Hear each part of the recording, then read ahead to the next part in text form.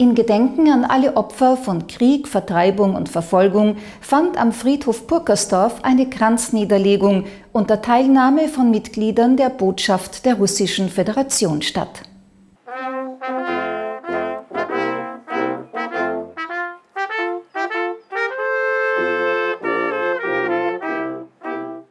Herr Bürgermeister, heute eine Gedenkfeier bei dem Mahnmalen äh, einerseits äh, der Opfer des Zweiten und des Ersten Weltkrieges, aber auch der Verfolgten und der rassisch Verfolgten und Umgekommenen.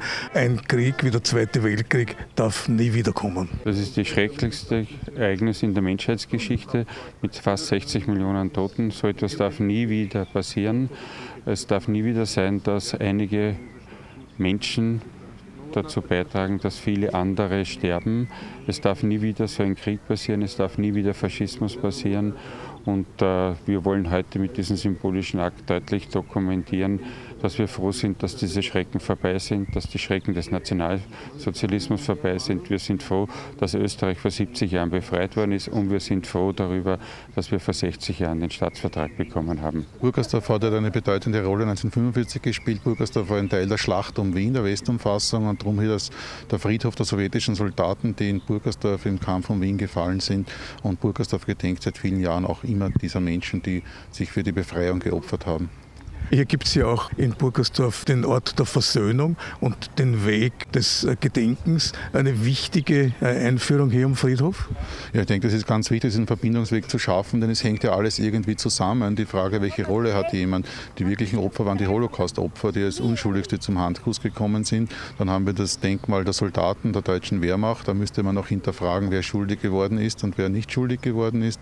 Die Befreier, wo wir jetzt stehen. Und dann noch das Denkmal der Vertriebenen Brünner Deutschen, die ja auch viele unschuldige Menschen waren, die nach dem Zweiten Weltkrieg noch Opfer der Vertreibung geworden sind.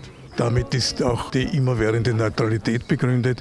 Ein Zustand, der für Österreich ganz wichtig ist. Für mich ist er nach wie vor wichtig. Ich glaube, die Neutralität hat ihre Wichtigkeit nicht verloren. Wir wissen nicht, was in Zukunft kommt. Wir leben in einer sehr unruhigen Zeit und da ist es ganz gut, wenn wir die Neutralität haben, auch in einem großen gemeinsamen Europa. Natürlich bedarf das auch Bekenntnis zum Bundesheer.